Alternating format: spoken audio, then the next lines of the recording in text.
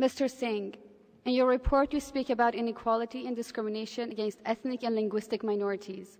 However, in some countries such as Iran, non-recognized religious minorities are also denied the right to education. Persecution against Baha'is, the largest religious minority in Iran, even extends to children and youth. As you will have noted in documents submitted to your office by the Baha'i international community, thousands of highly qualified young people have been unjustly barred from university for over 30 years, only because of their beliefs.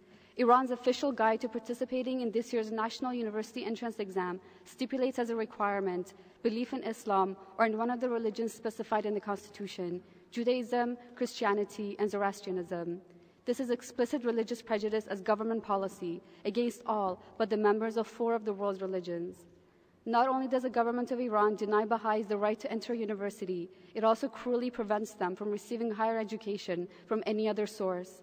This includes an informal initiative set up by Baha'is, offering university level courses to young people in their living rooms and kitchens. In May June last year, government agents searched 40 homes and arrested 19 Baha'is engaged in this initiative. Six of them are still in prison today, serving four to five year sentences. Moreover, throughout Iran, teachers or school administrators regularly insult, abuse, and intimidate Baha'i children and adolescents.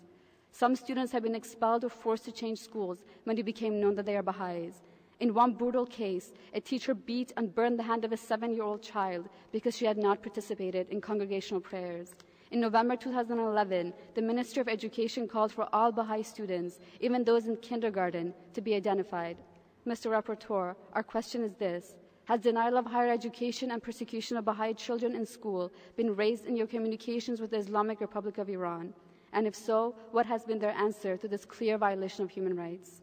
Thank you.